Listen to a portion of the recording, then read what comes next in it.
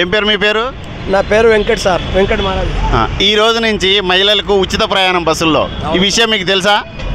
తెలిసి అయిపోయింది సార్ తెలిసిపోయింది. ఓకే. దీనివల్ల మీకు ఏమన్నా ఇబ్బందా? ఇబ్బంది పడింది సార్ మన గిరేక్ అయితే అప్పటి నుంచి. ఆ, ఎవరు కూర్చుంటే ఆటో అప్పుడు రెండు గంటల నుంచి ఇక్కడనే కూర్చున్నాయి అంటే ఈ రోజు మధ్యాహ్నం నుంచి గిరాకీ లేదు. గిరాక్ లేదు. అప్పుడు పొద్దుగాల నుంచి ఉండే గిరాక్ ఇప్పుడు అయితే ఎవరు అడుగుతలేదు ఇంతవరకు. ఓకే నమస్తే బాగున్నారా? ఇప్పుడు ఈ రోజు నుంచి ఉచిత ప్రయాణం పెట్టారు కదా మహిళలకు. దీనివల్ల మీకు ఆటోలకు ఏమైనా ఇబ్బందా? ఇబ్బంది లేదు సార్ ఇప్పుడు గిరాయిలు వస్తలేదు. అందరు ఆర్టీసీలోనే పోతుర్రు. మేము ఎట్లా బతకాలి ఇప్పుడు? మా పరిస్థితి ఎట్లా ఇప్పుడు? ప్రభుత్వాన్ని ఏం డిమాండ్ చేస్తారు మీరు? ఇక మాకు ఏమైనా పింఛన్లు ఇవ్వాలి ఇక.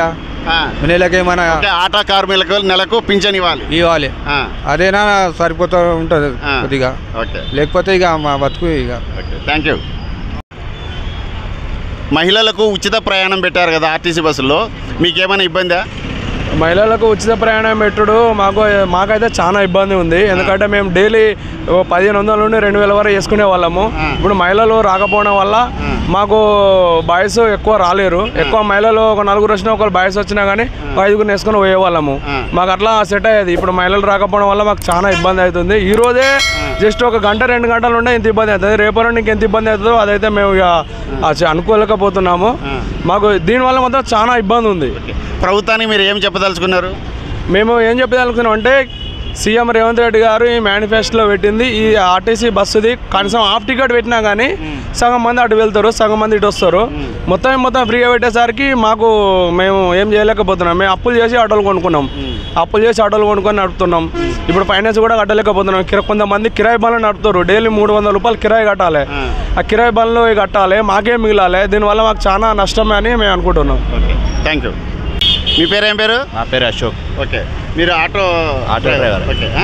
ఇప్పుడు మహిళలకు ఉచితంగా ఇచ్చారు కదా ఆర్టీసీ ప్రయాణము. మీకేమిటి మీకేమైనా ఇబ్బందా? ఇప్పుడు ఉచితంగా అయితే ఇచ్చారు.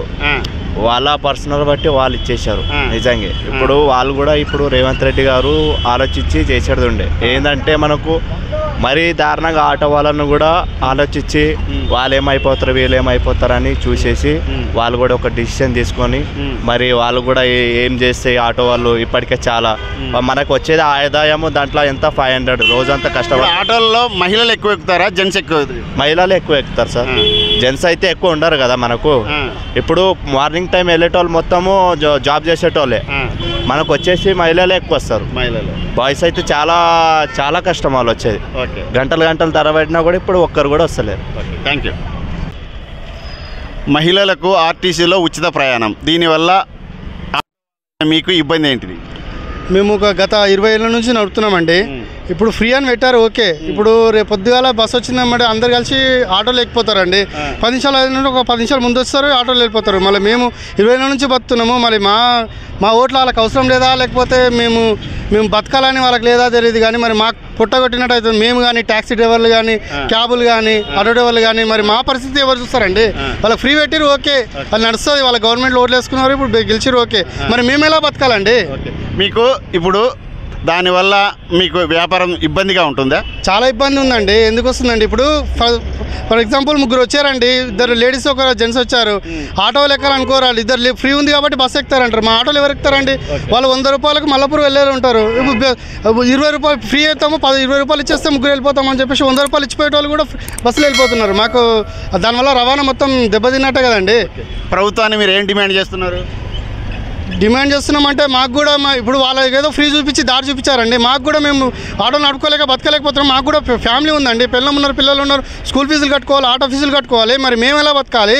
మాకు కూడా ఏదో దారి చూపించండి. మరి నెలకు ఇస్తారా? లేకపోతే నెలకు పదివేలు ఇస్తారా? లేకపోతే సంవత్సరానికి ఒక యాభై వేలు ఇస్తారా? ఏదో విధంగా మాకు మమ్మల్ని ఆదుకున్నారంటే మేము కూడా సరే గవర్నమెంట్ మంచి చేసిందని మేము అనుకుంటామండి. ఓకే. అంతే కదా మీ డిమాండ్? అవునండి డిమాండ్ ఇది ఇది నాలాంటి నా ఒక్క నా ఆవేదన కాదండి. ఈ- కానీ ఎన్ని వేల మంది ఉంటారు మీరు ఆటో కార్మికులు? సిటీలో దాదాపుగా మ్యాక్సిమం అయితే లక్ష యాభై వేలు రికార్డులో స్థాయిగా ఉంది. కాకపోతే అంచనా విధంగా డిస్టిక్ నుండి అక్కడ నుంచి నడిపే పెడితే అంచనాకు సుమారు రెండు లక్షల రెండు లక్షల యాభై వేల నుంచి మూడు లక్షల వరకు ఆటోలు ఉన్నాయి. వాళ్ళందరి జీవితాలు ఇప్పుడు రోడ్లో పడ్డట్టే. రాష్ట్ర వ్యాప్తంగా ఇబ్బంది రాష్ట్ర వ్యాప్తంగా ఇబ్బంది అండి. ఇప్పుడు పల్లెలలో కూడా అందరికీ బస్సులు ఫ్రీ పెట్టారు. ఇక్కడ అంటే ఏదో విధంగా ఓలో ఊబర్ ఆన్ చేసుకొని వెళ్ళిపోతాం బుక్ చేసుకుంటూ వెళ్ళిపోతాం. కానీ వాళ్ళు రావా. ఇప్పుడు పల్లెలలో అలా కాదు కదా. ఇప్పుడు మొత్తానికే షేరింగ్ కొట్టే వాళ్ళు ఉంటారు. అంటే టాటేస్ కానీ అప్పి మ్యాజిక్ కానీ ఉన్నారు. వాళ్ళందరూ ఇప్పుడు బస్సు రాకపోతేనే వాళ్ళు బస్సు బస్సులో తీసుకోవడానికి ఉంటారు. ఇప్పుడు బస్సు కోసం ఫ్రీ అని చెప్పేసి వాళ్ళు గంటనే వెయిట్ చేస్తారండి. ఊర్లలో పని ఏముంటుంది? వాళ్ళందరూ బస్సుకి వెళ్ళిపోతారు. ఇప్పుడు ఊర్లో ఉన్న వాళ్ళ ఆటో డ్రైవర్ల పరిస్థితి అయినా ఎలా ఉంటుందండి ఇప్పుడు? వాళ్ళు కూడా బతకాలంటే వాళ్ళ ఫ్యామిలీ రోడ్డు మీద పడ్డట్టే కదా. వాళ్ళకు బ్యా ఫ్యామిలీ పిల్లలు ఉంటారు భార్య ఉంటారు అమ్మ నాయన ఉండొచ్చు. వాళ్ళందరూ స్కూల్ ఫీజులు కట్టాలి. వాళ్ళందరూ రోడ్లో పడ్డట్టే కదండి. Thank you okay. ఓకే మహిళలకు ఉచిత ప్రయాణం అని చెప్పి ఆర్టీసీ ఫ్రీగా బస్సులు నడుపుతుంది కదా మీకేమైనా ఇబ్బందా? మాకు ఇప్పుడు మా కడుపు మీద కొట్టినట్టే అయిపోయింది. మాకు బస్సులలో పబ్లిక్ అంతా వెళ్ళిపోతే మేము ఆటోలు రోడ్ల మీద పడిపోయినట్టు అయిపోయింది పరిస్థితి.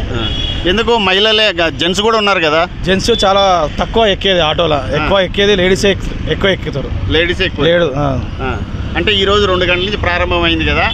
మీకు ఎలా అనిపిస్తుంది ఇప్పుడు? ఇప్పటి వరకైతే చాలా తక్కువ ప్రయాణ ప్రయాణం గిరా- ఈరోజు. చాలా తక్కువ ఉంది. అంటే ఈ పథకం వల్ల మీకు ఇబ్బందేనా? చాలా ఇబ్బంది. ట్యాక్సీ ఇబ్బంది. ఏం పేరు మీ పేరు? షేక్ జహాంగీర్. ఆ, మీరు ఎన్ని రోజుల నుంచి చేస్తున్నారు ఈ పని? ముప్పై ఏళ్ళ నుంచి. అంటే ఈ పథకం వల్ల అంటే మహిళలు ఫ్రీగా ఆర్టీసీ బస్సులో తిరిగితే మీకు ఇబ్బంది. ఇబ్బంది మళ్ళీ. ఎందుకు ఇబ్బంది మీకు? ఇబ్బంది అంటే ఏడ కిరాయిలు అయితే ఆ. కిరాయిలు ఏడైతే జెంట్స్ ఉన్నారు కదా? జెంట్స్ ఉంటే ఒకరుంటే అయిపోతుందా. ఎక్కువ ఇప్పుడు భార్య ఆటోలలో ఎక్కువ ఎవరు తిరుగుతారు? మహిళలు తిరుగుతారా? లేకపోతే జెంట్స్? మొబైల్ తింటారు కానీ ఇప్పుడు మాకు ఇబ్బంది మాకు. ఆడవాళ్ళు లేకపోతే ఇబ్బంది మీరు ఏం అప్పీల్ చేస్తున్నారు గవర్నమెంట్కు? మాకు కూడా ఏదైనా ఏమన్నా ఇంకా వేరే ఏమన్నా లాభం వచ్చేటట్టు ఏదైనా చేస్తే సంతోషం. లాభం వచ్చేదంటే ఏం కావాలి? అంటే పింఛన్ లాంటిది కావాలా? ఈ సంవత్సరానికి ఇంత మన జగన్ ఎట్లా ఇచ్చిండో అట్లా ఆ రకంగా ఏమన్నా ఆంధ్రలో ఇచ్చినట్టు మాకు కూడా ఏదైనా ఇస్తే అంటే సంవత్సరానికి పది సంవత్సరానికి ఇంత అట్లా. ఎన్- ఎంత కావాలని ఎక్స్పెక్ట్ చేస్తున్నారు మీరు? ఇక ఇరవై వేలు ఏ ఆ. ఇరవై వేలు అట్లా. మీరు స్పష్టంగా చెప్పండి. ఆ. అదే ఇరవై వేలు అట్లా ఇస్తే అంటే ఏపీ గవర్నమెంట్ ఆటో వాళ్ళ గవర్నమెంట్ ఆటో వాళ్ళకి ఎలా ఇచ్చారో మాకు ఇక్కడ కూడా ఆ. అలాగా ఇవ్వాలని అ- అడుగుతున్నాం. ఆ. అంటే గవర్నమెంట్కి అప్పీల్ గవర్నమెంట్కి అప్లై చేస్తున్నాం. థ్యాంక్ యూ ఏం పేరు మీ పేరు నా పేరు Balakrishna Please like, share, and subscribe.